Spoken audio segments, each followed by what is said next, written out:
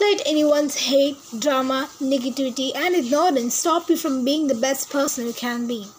UNESCO observed this day, that is, every Thursday of November every year, is observed as an International Day of Against Violence in School, Bullying, and Cyberbullying happening.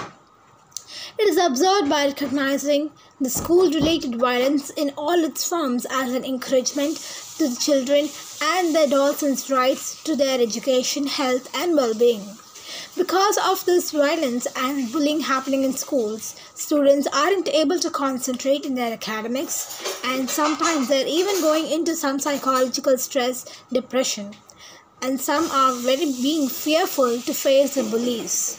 Some are even not able to express the anxiety and fear that they are hiding in their heart to parents, elders, cousins, or uh, friends, etc. But what is cyberbullying? Cyberbullying is called the online bullying with the help of electronics. By hacking others' passwords and leaking others' pics purposefully to hurt them is also a big crime, and they're doing it to cause some fear and anxiety in the people.